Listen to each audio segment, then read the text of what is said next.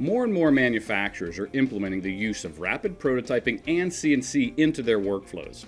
And as a result, communication of design intent and specifications through your 3D model is more critical than ever. New model-based definition tools in Autodesk Inventor 2018 allow you to add geometric dimensioning and tolerancing annotation or GD&T and other manufacturing information directly to your 3D model meaning that you no longer need to wait until both the 3D model and the 2D documentation is complete before beginning the process of prototyping or even manufacturing your designs.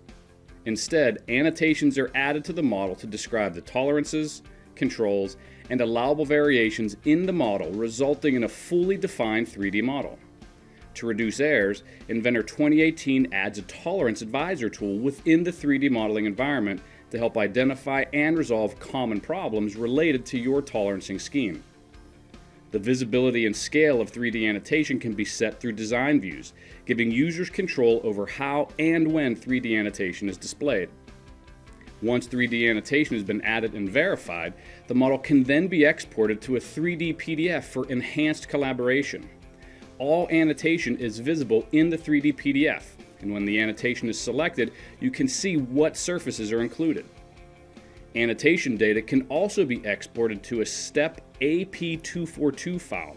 This industry standard protocol used during export allows this information to be utilized downstream in other manufacturing processes.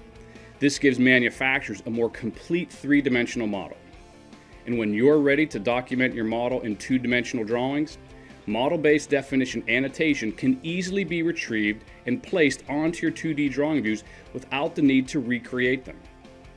Model-based definition tools in Autodesk Inventor 2018 streamline communication between engineering and manufacturing by directly integrating design intent into your 3D models.